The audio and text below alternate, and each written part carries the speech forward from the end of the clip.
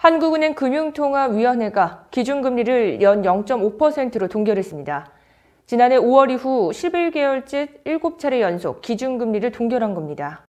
코로나19 확산 여파로 소비 등 내수가 위축되고 고용지표가 하락하는 등 실물경제 회복을 둘러싼 불확실성이 커졌기 때문인 걸로 풀이됩니다. 앞서 이주열 한국은행 총재는 경기 흐름의 불확실성이 매우 높기 때문에 기준금리 인상에 대해 언급할 상황이 아니라고 밝히기도 했습니다.